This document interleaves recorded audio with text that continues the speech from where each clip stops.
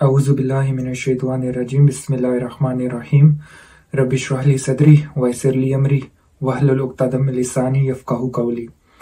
Welcome to the first session uh, called Learning Arabic from Quran. और uh, आपने पहले आज से पहले कभी ये सेंटेंस कभी नहीं सुना होगा कि लर्निंग अरेबिक फ्रॉम कुरान मतलब इसका क्या मतलब है कि कुरान से अरेबिक सीखी जाए मतलब पहले सुनने में तो ये आता था कि लर्निंग अरेबिक फॉर कुरान मतलब कुरान को समझने के लिए लोग अरेबिक सीखते हैं बेसिकली लेकिन आपने कभी ये नहीं सुना होगा कि लर्निंग अरेबिक फ्रॉम कुरान ठीक है? ये बहुत रेयर है कि हमें सुनने को मिले। अगर सुनने को भी मिलता है सेंटेंस तो उसका डिफरेंट मीनिंग होता है। What I am trying to say हम अरेबिक क्यों सीखते हैं? That is the question I have to ask कि हम अरेबिक क्यों सीखते हैं? मोस्टली ऑफ़ कोर्स अरेबिक इसीलिए सीखते हैं बिकॉज़ उन्होंने कुरान समझना होता है। कुरान को बेहतर समझने के लिए। Because there is not a shade of a doubt के कुरान अरेबिक के बगैर समझ नहीं आ सकता बिकॉज़ uh, uh, जो लोग uh, कुरान को ट्रांसलेशन के साथ पढ़ते हैं स्पेशली उर्दू ट्रांसलेशन के साथ उनको, उनके लिए जानना ज़रूरी है कि Urdu is a weak language compare to Arabic Arabic is a strong language तो बेसिकली इसका मतलब ये है कि बहुत से वर्ड्स अरेबिक ऐसे बहुत से वर्ड्स हैं जिनका मीनिंग समझने के लिए हमें उर्दू का पूरा पूरा मतलब सेंटेंस जो है वो यूज़ करना पड़ता है। मतलब अरेबिक का एक वर्ड होगा और हमें उर्दू का पूरा सेंटेंस जो है वो यूज़ करने की ज़रूरत पड़ती है because Arabic is a very deep and strong language इसका बहुत डीप मीनिंग होता है। बहुत से ऐसे अरेबिक वर्ड्स हैं जिनके बहुत प्रोफाउंड मीनिंग होते हैं, इसीलिए कुरान अरेबिक में है। देर इज़ अ रीजन ठीक है? तो देर इज़ नो डाउट कि अरेबिक सीखना बहुत ज़रूरी है टू अंडरस्टैंड कुरान। लेकिन अनफॉर्चुनेटली बहुत से लोग लेजी होते हैं सुस्त होते हैं। मैंने ऐसे बहुत से लोगों को देखा है जो कि अरेबिक कोर्स स्टार्ट कर लेते हैं लेकिन फिर आ, उसको कंप्लीट नहीं करते बीच में छोड़ देते हैं। या बहुत से लोग जो होते हैं वो अरेबिक वैसे ही नहीं सीखते उनके पास टाइम नहीं होता। उनको ये काम बहुत मुश्किल लगता है। तो मैंने एक शॉर्टकट ढूंढा है ठीक है? वो शॉर्टकट मतलब क्या है? ये टैग लाइन ये बताती है कि learning Arabic from Quran so basically when I say learning Arabic from Quran इसका मतलब ये है कि देखिए हम अरेबिक अगर तो आपका पर्पस ये है कि आपने अरेबिक इसलिए सीखनी है बिकॉज़ आपने कुरान को बेहतर समझना है तो क्यों ना कुरान से ही अरेबिक सीखी जाए। इसका ये इसका क्या मतलब है? uh, देखें कुरान में बहुत से ऐसे वर्ड्स हैं बहुत से ऐसे वर्ड्स हैं जिनका मीनिंग खुद सहाबी ने बताया हुआ है इट्स ठीक है specially Abdullah bin Abbas Abdullah bin Masood और बहुत से ऐसे सहाबी हैं, ठीक है, जिन्होंने खुद कुरान का लाइक अरबी का मतलब बताया कि इसका क्या मतलब है। आपको ये तफसीर, जब भी जब भी आप तफसीर पढ़ेंगे, इबन इबन कसीर की पढ़ लें या जो भी फ़ेमस जितनी भी फ़ेमस तफसीर हैं, आपको उनमें एक चीज़ कॉमन नज़र आएगी कि अरबिक का जो मीनिंग है, ठीक है, वो सहाबी के रेफरेंस से बताया गया कि अब्दुल्ला बिन अब्बास के मुताबिक इस पर्टिकुलर अरेबिक का जो वर्ड इसका क्या मतलब था ठीक है? तो अब एक तरीका अरेबिक सीखने का ये हो सकता है कि बिकॉज़ कुरान में जो अरेबिक यूज़ हुई है वो क्लासिकल अरेबिक है जिसको आप क्लासिक अरेबिक भी कह सकते हैं एंशियंट अरेबिक भी कह सकते हैं ठीक है? एंड uh, ये स्लैंग या इनफॉर्मल अरेबिक नहीं है ये जैसे क्लासिक इंग्लिश होती है ना जो शेक्सपियर uh, जो यूज़ करता था काफ़ी मुश्किल इंग्लिश जो हमें समझ नहीं आती ठीक है? तो वैसे ही अरेबिक जो कुरान है वो क्लासिक अरेबिक में है। सो so बेसिकली अगर तो आपका मकसद ये है कि आपने अरेबिक इसलिए सीखनी है बिकॉज़ आपने कुरान सीखना है। Uh, मतलब कुछ लोग इसलिए भी अरेबिक सीखते हैं बिकॉज़ उन्होंने सऊदी अरेबिया जाकर लोगों से बात करनी होती है या उनको समझना होता है उनसे कम्युनिकेट करना होता है या उस माहौल में रहना होता है अपने आप को सेटल करना है तो that is a different thing फिर आपको अरेबिक सीखनी पड़ेगी एज अ लैंग्वेज लाइक हर्फ क्या होता है और नसब और जर और रफा, वो सारे जिन्होंने अरेबिक सीखी उनको पता होगा कि मैं क्या बात कर रहा हूँ। फिर आपके सारे वो नीटी ग्रीटीज लाइक किसी भी लैंग्वेज को सीखने के लिए जो आपको चीज़ें सीखनी पड़ती हैं, हर्फ वगैरह, वो सब कुछ सीखना पड़ेगा, ठीक है? एक मेरे पास आपके लिए गुड न्यूज़ है बिकॉज़ अगर तो आपको उर्दू आती है ना तो सेवेंटी परसेंट आपका जो काम है, वो वैसे ही ईजी हो गया, ठीक है? बिकॉज़ जो अरेबिक है जो उर्दू है उसके जो रूट है वो अरेबिक है ठीक है? आपको कहीं जगह पे आपको ऐसे बहुत से वर्ड्स मिलेंगे कुरान में जिनका उर्दू में भी आ, वही मतलब होता है ठीक है? तो ये आपके लिए काम बहुत आसान है बिकॉज़ आपको उर्दू ऑलरेडी आती है। मुश्किल उन लोगों के लिए होती है जिनको उर्दू भी नहीं आती अरेबिक भी नहीं आती तो उनको सिर्फ़ इंग्लिश आती है ठीक है? उनके लिए मुश्किल होती है अरेबिक सीखना लेकिन आपके लिए तो बहुत आसान है। लेकिन मैं जिस तरीके से आपको अरेबिक सिखाऊँगा ये एक डिफरेंट स्टाइल है। ये आज तक किसी ने ये स्टाइल यूज़ नहीं किया। आ, लेकिन मुझे पता है कि स्पेशली जो पाकिस्तानी कौम है वो बहुत सुस्त है। ठीक है उसके पास टाइम लोगों के पास टाइम नहीं है। ठीक है हम कोर्स तो स्टार्ट कर लेते हैं लेकिन फिर छोड़ देते हैं। ठीक है मैंने ऐसे बहुत से लोग देखे जिन्होंने पैसे भी दिए कोर्स के लिए स्टार्ट पैसे दे के कोर्स स्टार्ट करते हैं। लेकिन सिंस अरेबिक सीखने से उनको यूएसए का वीज़ा नहीं मिलता या ऑस्ट्रेलिया का वीज़ा नहीं मिलता या यूके का वीज़ा नहीं मिलता। यूके के वीजे की रिक्वायरमेंट नहीं है अरेबिक सीखना तो वो फिर उस काम को अधूरा छोड़ देते और अरेबिक नहीं सीखते। तो ये शॉर्टकट मैंने एक यूज़ किया इसका।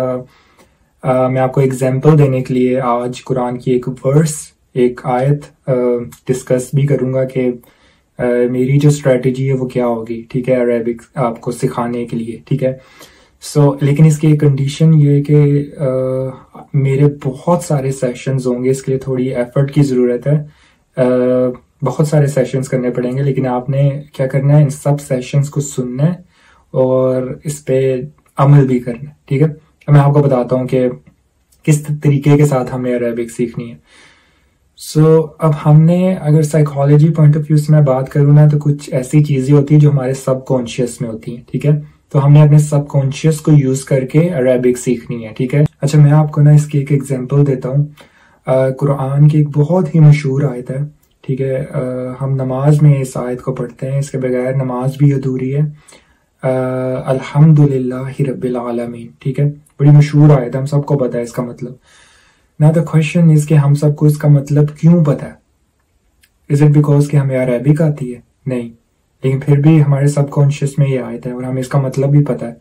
अल्हम्दुलिल्लाह रब्बिल तमाम तारीफे अल्लाह के लिए जो दो जहानों का रब है। ठीक है?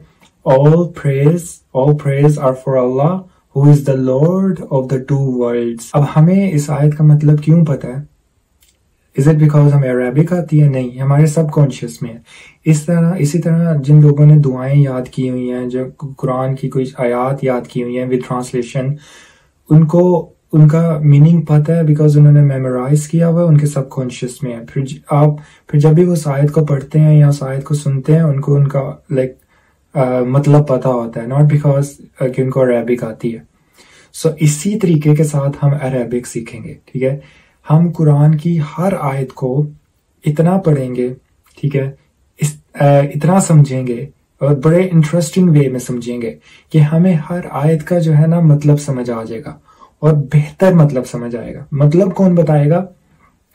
जो अरेबिक का जो पर्टिकुलर वर्ड होगा उसका मतलब कौन बताएगा? ना आप बताएँगे ना मैं बताऊँगा वो सहाबी बताएँगे। ठीक है, मैं रेफरेंस कोट करूँगा कि अब्दुल्ला बिन अब्बास के मुताबिक इस अरेबिक का मतलब क्या था? इस अरेबिक के वर्ड का मतलब क्या था? अब उनसे बेहतर तो नहीं किसी को पता ना? अब सहाबी, अब अली बिन अबी तालिब से बेहतर किसी को पता है कि इस अरेबिक के वर्ड का मतलब क्या था? नहीं। किसी मौलाना से पूछने की बजाय क्यों ना हम सहाबी को देखें कि सहाबी के मुताबिक इस अरेबिक के वर्ड का क्या मतलब था? तो इसीलिए, इसी तरीके के साथ हम जो है ना पूरे कुरान को सीखेंगे, समझेंगे और अरेबिक सीखेंगे बेसिकली कुरानिक अरेबिक। ये फिर एंड पे इसका रिज़ल्ट क्या होगा? जब कुरान की कोई आयत पढ़ी जा रही होगी, आपको ऑटोमेटिकली ऑटोमेटिकली आपके सब कॉन्शियस में उसका मीनिंग आपको पता है तो वो आपको पता होगा कि इसका क्या मतलब है, ठीक है? जैसे अल्हम्दुलिल्लाह रब्बिल आलमीन का सबको मतलब पता है कि क्या क्योंकि सब कॉन्शियस में हमारे। तो इसी तरीके के, इसी तरीके के साथ सूर्य बकरा की हर वर्स जब कोई, जब भी कोई सूर्य बकरा की कोई भी वर्स पढ़ेगा ना, आपको उसका मतलब पता होगा कि इसका ये मतलब है। नॉट बिकॉज़ कि आपका रैबिक आती है। इट्स बिकॉज़ कि आपने आपके सबकॉन्शियस में तो आज जिस आयत को हम डिस्कस करेंगे वो सूर्य तकवीर की आयत है, ठीक है? Verse number eleven one of my favourite verse just for an example आज के सेशन में हम उस आयत को डिस्कस कर लेते हैं। आपको आइडिया भी हो जाएगा कि किस तरीके के साथ हमने अरेबिक सीखनी है। अच्छा इसके लिए मैं एक और बात क्लियर कर दूँ कि अरेबिक सीखने का जो टिपिकल वे है, ठीक है, यानी कि रफा, नसब, जर के थ्रू अरेबिक सीखना, यानी कि बेसिक चीज़ें पहले सीखना, फिर आगे स्टेप बाय स्टेप जो है वो अपने लेवल को इंक्रीज करना और फिर अरेबिक को फर्दर उसमें एक्सपर्टीज हासिल करना। ये जो तरीका है अरेबिक सीखने का it is the best way ठीक है? सबसे बेस्ट तरीका है। लेकिन सिंस बहुत से लोग सुस्त हैं, उनके पास टाइम नहीं होता तो उनके लिए शॉर्टकट है कि अगर तो पर्पज आपका कुरान सीखना है ना, कि मैंने इसलिए अरेबिक सीखनी है कि मुझे कुरान समझ आए तो फिर आप सहाबी के थ्रू ही समझ लें कि सहाबी के नज़दीक इस अरेबिक के वर्ड का क्या मतलब था। और मैं फुल अपनी मैक्सिमम एफर्ट करूँगा कि मैं आपको रेफरेंस दूँ कि अब्दुल्ला बिन मसूद के मुताबिक इस अरेबिक के वर्ड का क्या मतलब था? ठीक है तो मैं मैक्सिमम रेफरेंस देने की कोशिश करूँगा। तो एनीवे anyway, जो आज की जो आयत है उसको डिस्कस कर लेते हैं। सूर्य तकवीर की वर्स नंबर इलेवन जिसमें अल्लाह ताला फरमाते हैं वा इज़ समाउ कुशीतत ठीक है ये this is a very short verse but it has a very profound meaning ठीक है? अब हमने अरेबिक किस तरह सीखनी है? सो so बेसिकली हम क्या करेंगे? इस जो ये जो आयत है इसको आ, इसके इसको पार्ट्स में डिवाइड कर लेते हैं ठीक है? डिफरेंट पार्ट्स में डिवाइड कर लेंगे। आ, पहला ये आयत स्टार्ट कहाँ से होती है? पहले तो मैं आपको बता दूँ ये सूर्य तकवीर है इसमें almost ninety two eighty ninety percent जो वर्सेस हैं वो वाइजा से स्टार्ट होती है, ठीक है? वाइजा। ठीक है, अब सिंस हमने इस वर्ड्स को पार्ट्स में डिवाइड कर लिया, ठीक है? तो पहला जो वर्ड है वो है वाइजा। ठीक है? वाइजा का मतलब होता है एंड वेन और जब, ठीक है? अब आपने अपने सब कॉन्शियस में ये बात बिठा लेनी है कि कुरान में जहाँ भी वाइजा का वर्ड यूज़ होगा ना, इसका मतलब है एंड वेन और जब, ठीक है? तो अगर आपने लिखना है तो लिख लें। अगर आप पेन या लाइक पेन यूज़ कर, कलम, अपना कलम चलाना चाहते हैं, कलम यूज़ करना चाहते हैं और आपके पास डायरी है it's it's very good technique कि आप उसको लिख लो, ठीक है? ताकि आपके सबकॉन्शियस में ये चीज़ बैठ जाए। तो वाइजा का मीनिंग अगर आप लिखना चाहते हैं तो लिख लें। इसका मतलब है, और, जब एंड वेन ठीक है? तो ये वर्ड्स यहाँ से स्टार्ट होती है। मेजोरिटी वर्ड्स जो है, सूर्य तकवीर की वाइजा से स्टार्ट होती है। सो वा इज़ अ समाउ ठीक है? समाउ समा वर्ड समाउ वर्ड कहाँ से डिराइव हुआ है? समा से। अब आपको पता होगा कि समा एक ऐसा वर्ड है, जो कि कुरान में बहुत यूज़ हुआ है, ठीक है? लाइक रब्बुस समावाती, वमा फिल अर्द, ठीक है? समावात ठीक है मतलब समाज से रिलेटेड जो वर्ड्स हैं, जो समाज इसकी रूट है, इससे रिलेटेड जितने वर्ड्स हैं, वो कुरान में बहुत यूज़ हुए हैं। ठीक है तो अब आयत का जो इस वर्ड इसका जो सेकंड मीनिंग वर्ड है, वो क्या है? समाऊ। ठीक है तो इसका मतलब क्या है? आसमान स्काई आपको क्यों पता था ये? क्योंकि आपको उर्दू आती है। उर्दू में हम वर्ड क्या यूज़ करते हैं? आसमान। तो आपके लिए ये आसान हो गया समझना कि ये वर्ड उससे मिलता जुलता है। समा आ, समान आसमान समा। तो सिमिलर साउंड है ठीक है? इसलिए मैं बता रहा हूँ कि अगर आपको उर्दू आती है एट्टी परसेंट काम आपके लिए वैसे ही आसान हो गया।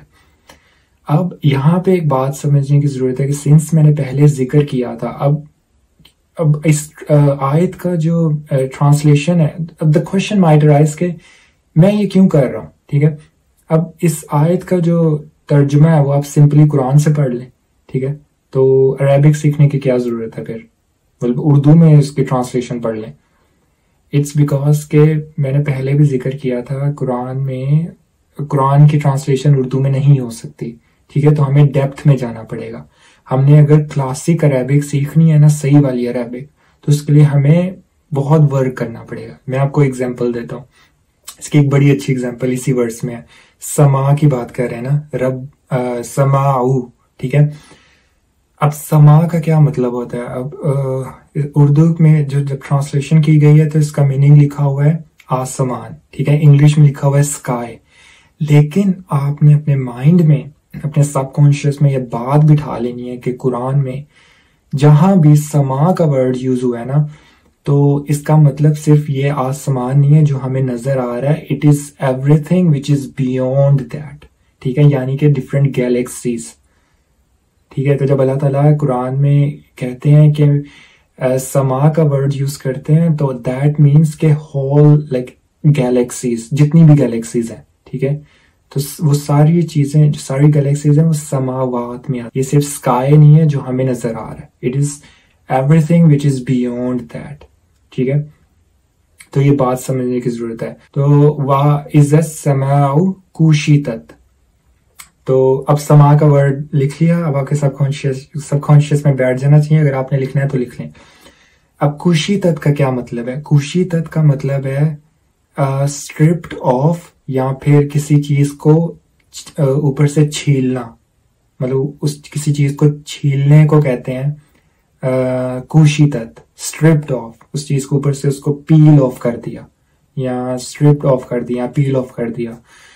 जैसे कि आलू को जब हम छीलते हैं तो उसका जो छिलका उतारते हैं, उसको हम कह सकते हैं कुशी तत्व ठीक है कुशी तत्व तो कुशी तत्व का मतलब होता है छीलना स्ट्रिप ऑफ़ ठीक है? तो बेसिकली कुशी तत्व का मतलब है छीलना किसी चीज़ को, ठीक है पील ऑफ़ जैसे कि मैं अपनी स्किन को ऊपर से छील दूँ ये वैसे काफ़ी वॉयलेंट एग्ज़ाम्पल है लेकिन एनी anyway, जैसे कि मैंने आलू की एग्ज़ाम्पल दी जब आलू को छीलते हैं तो उसके लिए जब वर्ड यूज़ करेंगे वो कुशी तक यूज़ कर सकते हैं। तो अब इस आयत का मतलब क्या है? सिंस मैंने वर्ड बाय वर्ड आपको मतलब बता दिया और मैंने जो इस अरेबिक के जो वर्ड है इसका जो मीनिंग है ये मैंने कुरान की लाइक जो कुरान की ट्रांसलेशन हुई है उर्दू में इंग्लिश में उसके रेफरेंस से नहीं बताया। मैं उसकी डेप्थ मैं डेप्थ में भी गया हूँ ठीक है? और ये अब्दुल्ला बिन मसूद और अब्दुल्ला बिन अब्बास बताएँगे कि इनका जो एक्चुअल मीनिंग है वो क्या है। तो मैंने इस वर्ड्स को बहुत डीपली स्टडी किया तो उनके मुताबिक यही मतलब है इसका ठीक है? तो अब आप आ, इस वर्ड्स का सिंस मैंने वर्ड बाय वर्ड आपको इसका मीनिंग बता दिया है अब आपने मुझे इस वर्ड्स का मतलब बताना है। इस वर्ड्स का क्या मतलब है? तो अब सिंस वर्ड बाय वर्ड मैंने आपको जो है इस आयत का जो है वो मैंने मतलब बता दिया। अब आपके लिए तर्जमा करना बहुत आसान हो जाना चाहिए, ठीक है? अब आप तर्जमा करके बताएँ मुझे, इस आयत का क्या मीनिंग है? तर्जमा करें। वाइज ऐसे मैं खुशी तत् and when the sky will be stripped off when the sky will be peel off ठीक है? जब आसमान की लाइक खाल उतार दी जाएगी, ठीक है? खाल मतलब छील दिया जाएगा आसमान, खाल उतार दी जाएगी। मैं बता रहा हूँ उर्दू में तर्जमा करना बड़ा मुश्किल हो जाता है। Any anyway so when the sky will be stripped off ठीक है? Uh, ये बेसिकली अल्लाह ताला क्यामत का मंजर बता रहे हैं कि क्यामत का जो मंजर है उसमें क्यामत के दिन क्या होगा बेसिकली ठीक है? When sky will be stripped off अब अगर आपने और डेप्थ में जाना है ना तो आप क्या करेंगे? इस आयत को समझिए। इस आयत का क्या मतलब है? When Allah subhanahu wa ta'ala says when the sky will जब आसमान को छील दिया जाएगा इसका क्या मतलब है? सोचने की बात है कि इसका क्या मतलब है? अब इसको समझने के लिए आप क्या करेंगे जो डिफरेंट स्कॉलर्स हैं ना डिफरेंट क्लासिकल स्कॉलर्स हैं या सहाबी सहाबी स्पेशली पहले सहाबी का आपने देखना सहाबी के नज़दीक क्या मीनिंग है? इसके बाद अपने स्कॉलर्स पे आना है ठीक है? वो क्या कहते हैं? अब जितने भी स्कॉलर्स हैं ना मेजोरिटी स्कॉलर्स उनकी राय है कि इसका मतलब ये है कि आ, हर चीज़ जो है वो अया हो जाएगी क्यामत के दिन ठीक है? फॉर एग्ज़ाम्पल मौदूदी साहब के नज़दीक भी इसका यही मीनिंग है कि जो डिफरेंट डायमेंशन में जो चीज़ें हैं ना इस वक्त जो हमें नज़र नहीं आती। जब अल्लाह ताला कह रहे हैं ना the sky will be stripped off यानी कि बियॉन्ड मैंने पहले भी कहा था स्काई वर्ड यूज़ हुआ है लेकिन it is something beyond that लेकिन यहाँ हमें इसका सबूत भी मिल रहा है। तो ऐसी चीज़ें जो गैलेक्सीज में डिफरेंट डायमेंशन uh, में है ठीक है? अब अल्लाह आलम अल्लाह को पता है क्या चीज़ें लेकिन इस आयत का मतलब यह है कि अल्लाह ताला कह रहे हैं कि क्यामत के दिन सब चीज़ें अया हो जाएँगी ठीक है? अब पता नहीं क्या होगा, हमें फरिश्ते नज़र आएँगे, जिन नज़र आएँगे, पता नहीं क्या क्रिएचर्स हैं तो अल्लाह ताला ने बनाए हैं, वो हम सबको नज़र आने लगेंगे। ऑल द जिन्स एवरीथिंग ठीक है? तो sky will be stripped off means the dimensions like different dimensions जो है, उसमें जो बाउंड्रीज है, वो खत्म हो जाएँगी। सब चीज़ें आया हो जाएँगी। So it will be a chaos basically तो खैर, आज के सेशन का अख्ताम करते हैं इस छोटी सी आयत को आज हमने सीखा, ठीक है? बेसिकली हमने अरेबिक सीखी, ठीक है? बेसिकली अरेबिक सीखी हमने। और जो नेक्स्ट सेशन होगा, उसमें हम दूसरी वर्ड्स डिस्कस करेंगे। In order to understand Quran basically the name of the session is learning Arabic from Quran ठीक है? Learning Arabic from Quran to understand Quran it's it's complicated but I think it's a very good way and and I believe it's a shortcut for all the lazy people who cannot attend uh, Arabic classes. But it's okay. Uh, इंसान human फितरा है इंसान की nature है सो इनशाला आपने मेरे सारे जितने भी सेशंस हैं ना आपने सुनने अटेंड करने हैं टू अंडरस्टैंड अरेबिक एंड मैं मैक्सिमम मटेरियल जो है वो इकट्ठा करूँगा देखिए उस्ताद नुमान अली खान मैंने उनसे अरेबिक सीखी ठीक है अब नुमान अली खान, उस्ताद नुमान अली खान की मेरे नज़दीक बहुत अच्छी अरेबिक है, ठीक है? बहुत अच्छी अरेबिक है। बट ही ऑलवेज से कि आई एम स्टिल लर्निंग ठीक है? मैं अभी भी, अभी तक अरेबिक सीख रहा हूँ। इसका मतलब यह है कि अरेबिक बहुत डीप लैंग्वेज है। तो ठीक है तो आप पूरी लाइफ इसको सीखते रहें तो वो भी कम है। इसका मतलब यही है कि डिफरेंट जो स्कॉलर्स सहाबी और रूट डिफरेंट कल्चर्स में जाना पड़ता है और डिफरेंट रूट्स में जाना पड़ता है कि सराबिक का उसके अकॉर्डिंग क्या मीनिंग बनता है any thank thank you for watching in I'll see you in session number two. Uh, Allah Hafiz.